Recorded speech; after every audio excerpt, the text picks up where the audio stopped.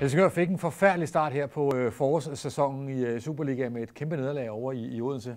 Kommer Horsens, Jakob, så en tur til, til det nordsjællandske. Ja, det var en skidt start, ja. Ja, For os alle sammen. for os alle sammen, ja. ja. ja. Den, den lader vi lige ligge. Hov, hov, mit hjørnesparkspil. Ja, det er sandt. Ja, ja, ja. ja.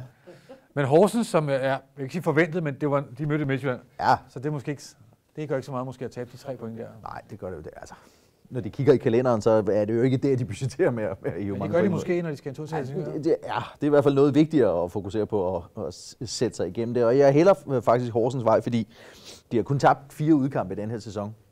Og det var til fire af de hold, der, der udgør top 5 lige nu. Og ja, det er jo altså acceptabelt, øh, trods alt. Øh, så jeg kan ikke rigtig forstå, at de skal være outsider i, øh, i Helsingør. De har spillet fire gange uafgjort på udebanen, så jeg, jeg, vaklede lidt sådan, skal, vi, skal man have en øh, kryds toer? Men så, Helsingør har jo enten vundet eller tabt på hjemmebane.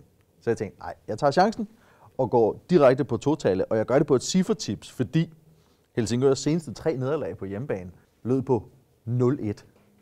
Og 0-1, det giver odds 7,5. Horsens har to udsejre. Begge to på et overskydende mål, den ene af dem 1-0. Derfor lander jeg på 1-0. Man må også formode, at der er 1-0 blevet trænet forsvarsspil øh, i Helsingør. Det må man formode, ja.